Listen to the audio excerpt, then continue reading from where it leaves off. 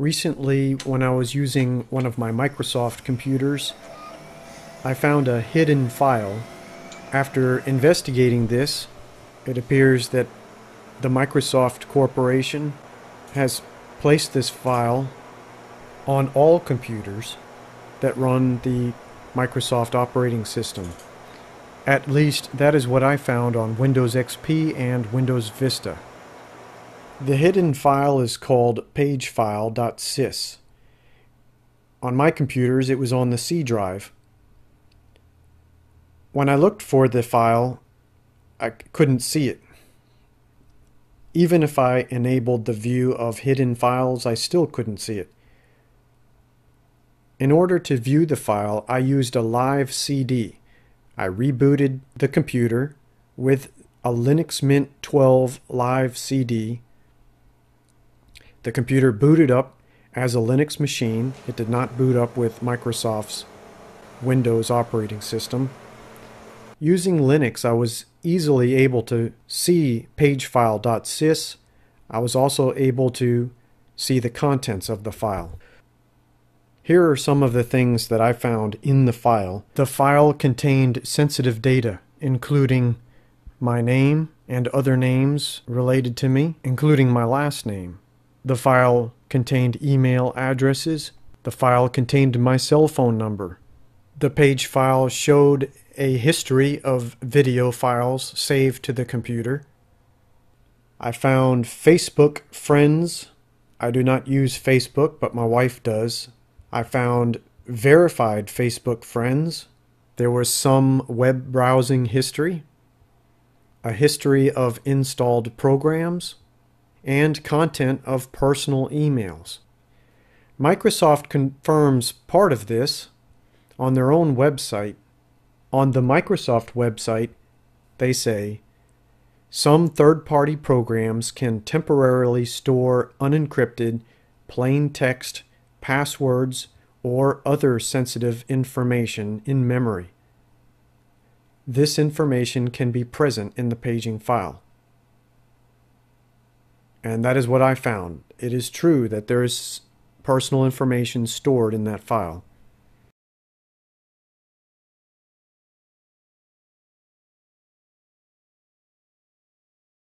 how did I do that?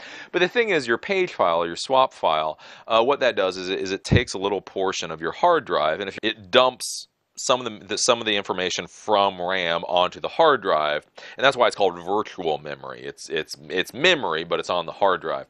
Uh, when you start using that swap file, it slows the computer down a little bit.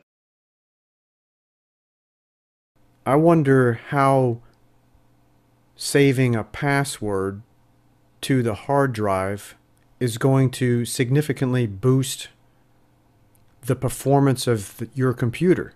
According to the previous source, the file actually slows down the computer. How can storing a password or other unencrypted plain text on your hard drive boost the performance of your machine? Regardless of the performance of your computer, it's a fact that unencrypted, plain text revealing personal details about you and me are being stored on our Microsoft computers. Microsoft allows personal data to be stored on your hard drive in a hidden file. The contents of this file may be revealed to those that know how. Our privacy on our computers is limited, and each day we have less and less privacy from the rulers of this world. Number one, once again, Microsoft co founder Bill Gates. Estimated wealth $54 billion. The rich and the powerful are gaining more and more control over the people in this world. How could the page file cause any trouble? One way is identity theft. Hackers. Hackers could sift page files for passwords. Since passwords are stored in the page file, in plain text if a hacker can get into the page file and the passwords are not encrypted, and so a hacker could discover your passwords. Hackers Hacking is one way to call it, I guess, but I consider it as a non technical person a long term monitoring and surveillance based on the dates that the computer forensics showed. Mitchell copied Bob Durrell's hard drive to examine the information on it without altering the original data. Mitchell found evidence that Bob deleted certain files, but they were still on the hard drive. That's because computers don't erase files. They just mark the space occupied by those files for reuse. A lot of the deleted files are simply information left in place. And a computer forensics analyst will take the stand to talk about the searches on Casey's computer. Also taking the stand in late afternoon testimony, a computer forensics expert who went over various emails that were found on Love's computer, including the one that we've all heard of at this point, where Huguely wrote to her, quote, I should have killed you, unquote. Another way the page file could cause trouble, we could be punished for our sins. Personal information can be stored in the page file. A forensic examiner could analyze the page file on your computer in a court case. The page file could indicate the download of contraband images, files that, if revealed to your enemies, might be an embarrassment to you. Because of poor choices we have made while using our computers, we could get into legal trouble with the rich and powerful. Many of us have downloaded copyrighted material without paying for it. That could get us into trouble with media corporations. Some questions we could ask ourselves about how we use our computer.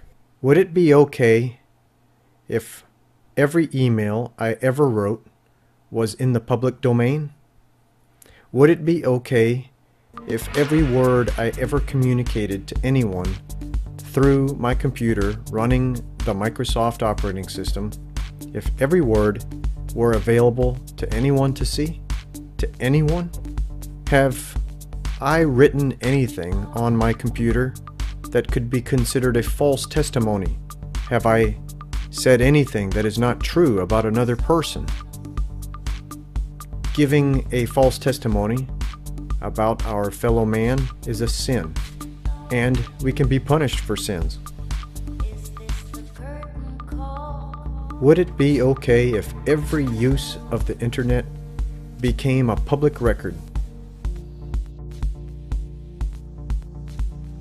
Neither do I condemn thee. Go, and sin no more.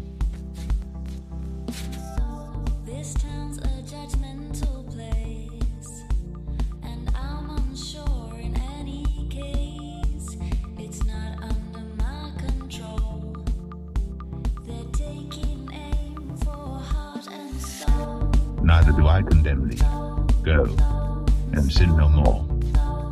Go, go, go, go. Here are some uses of a computer that could get us in trouble. Downloading copyrighted content without paying for it. That is the sin of stealing. Lying about other people. That is the sin of giving a false testimony. Viewing images of the flesh that lead down to lust and adultery. That is the sin of adultery and coveting. Communication showing that we want another person's things, whether we took those things or not. That is the sin of coveting. Communication on our computer that showed we hated someone, which could lead to murder. This could be the sin of murder, or the intent to murder, the premeditation. In a court case, this evidence could be used against you.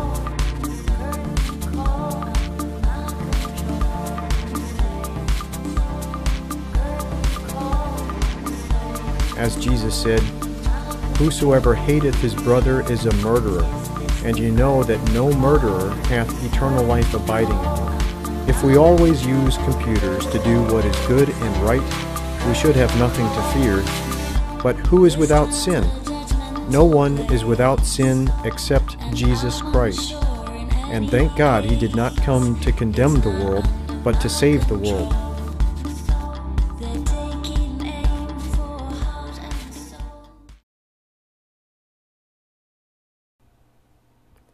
To cover your tracks and to hide your sins, you could try to clear out your web browsing history. You could delete your temporary internet files. You could delete all your emails. You could delete all your video files, your image files, and your audio files. Your hard drive could appear spotless, but then there is Microsoft's hidden file, which could reveal much of your personal use of your computer. I recommend that you first make up your mind to do what is good and right, confess to God that you are not innocent, and ask for His help. If you use a computer now, use it for learning truth and sharing truth with your fellow man. The computer connected to the internet makes it easy to communicate, and this is a powerful tool, and it can be used for good. We could make up our mind to do good with this tool and to put an end to our old ways. With that in mind, we could wipe out the page file and start clean.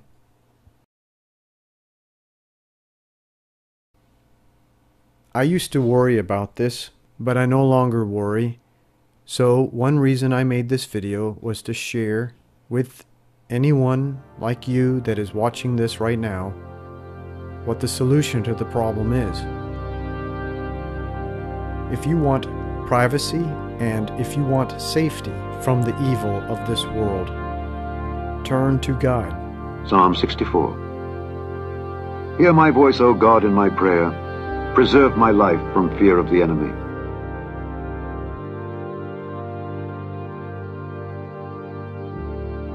Hide me from the secret counsel of the wicked, from the insurrection of the workers of iniquity.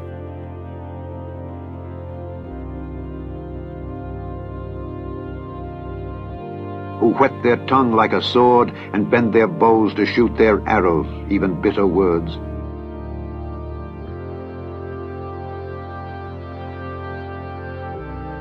They may shoot in secret at the perfect.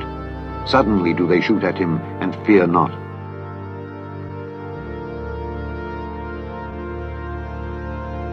They encourage themselves in an evil matter. They commune of laying snares privily. They say, Who shall see them?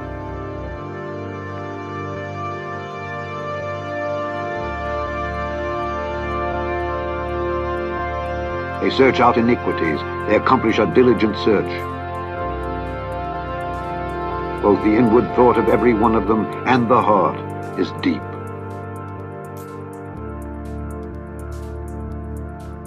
God shall shoot at them with an arrow. Suddenly shall they be wounded.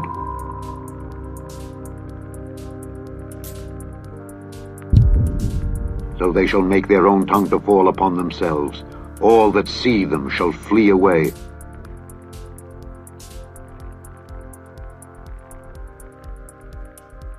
All men shall fear and shall declare the work of God, for they shall wisely consider of his doing.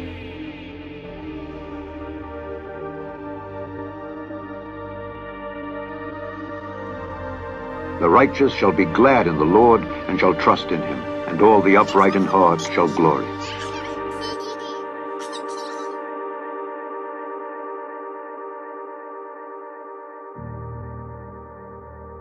Do you want to be hidden from the evil? Do what is good and right, and trust in the Lord. His name is Jesus.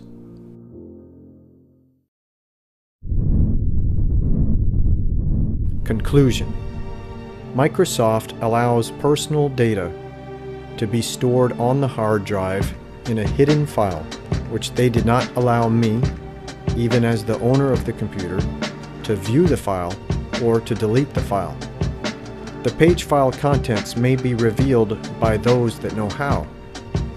Our privacy on the computer is limited, and each day, as technology pushes forward, we have less and less privacy from the rulers of the darkness of this world and the spiritual wickedness in high places.